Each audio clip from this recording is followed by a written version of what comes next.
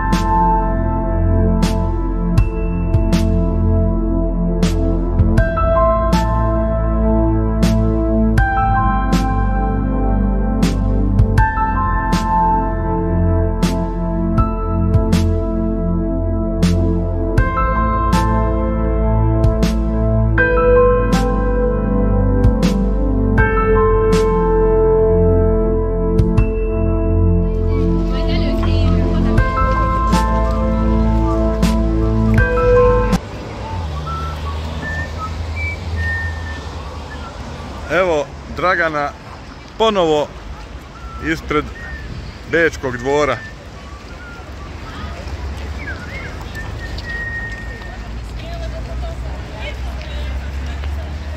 Habsburška monarhija. Habsburgovci.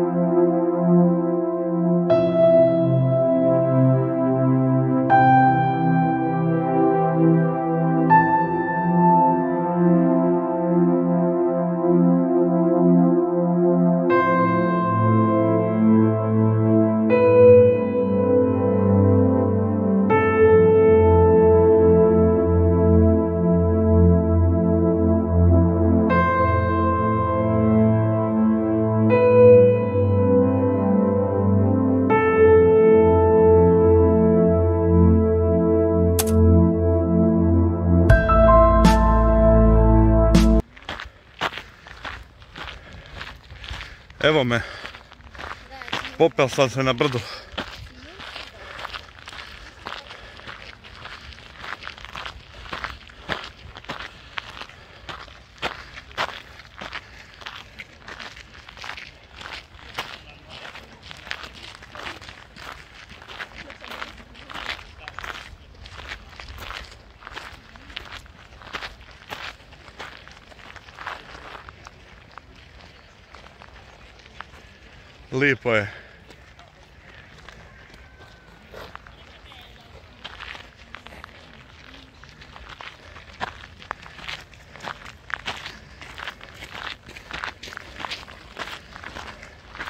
Mahni Mađar pa ćeš biti na YouTube-u.